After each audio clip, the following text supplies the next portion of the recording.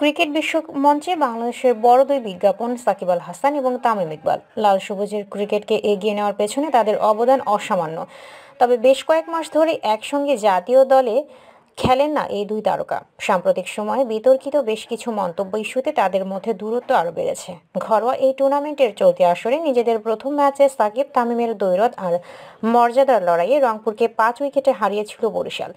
সোমবার উনিশ ফেব্রুয়ারি দ্বিতীয় লেগে ফের মাঠে গড়ায় সাকিব, তামিমের দৈরত টানটান উত্তেজনাপূর্ণ সেই ম্যাচে শেষ ওভারে সাকিব বাহিনীর কাছে হেরেছে তামিম বাহিনী। এদিন প্লে অফে ওঠার কঠিন সমীকরণে ব্যাটিংয়ে নেমে শুরু থেকে আগ্রাসী মেজাজে ব্যাট চালাতে থাকেন ওপেনার তামিম। তবে ইনিংস বড় করতে পারেননি তিনি। বিশ বলে তেত্রিশ রানে প্যাভিলিয়নে ফেরেন বরিশালের অধিনায়ক। সাকিবের ওভারের প্রথম বলটি বুঝতে না পেরে ক্যাচ তুলে দেন তামিম। তবে এই ওপেনারের আউটে তেমন কোনো উদযাপন করেননি সাকিব।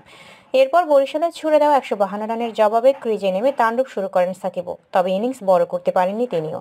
পনেরো বলে উনত্রিশ রান করে মিরাজকে উড়িয়ে মারতে গিয়ে বাউন্ডারি লাইনে ধরা পড়েন এই অলরাউন্ডার। এ সময় দেখা যায় সাকিবের দিকে লক্ষ্য করে সাকিব মুখ ভেঙচির রিয়াকশন দিয়ে উদযাপন করছেন তামিম। ততক্ষণে প্যাভিলিয়নের পথ ধরেছেন সাকিব। মুহূর্তেই সামাজিক যোগাযোগ মাধ্যমে বিষয়টি ছড়িয়ে পড়ে।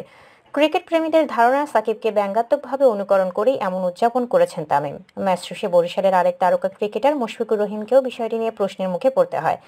জবাবে মুশির ভাষ্য, সাকিবের আউটের পর তামিমের উদযাপন সত্যি কথা আমি দেখিনি। একটা ব্যাটসম্যান আউট হয়েছে, আমি দেখছিলাম ক্যাচটা হয়েছে কিনা। এরপর পরবর্তী ব্যাটসম্যান কে আসবে, পরিকল্পনা কি হবে সেটা নিয়ে ভাবছিলাম।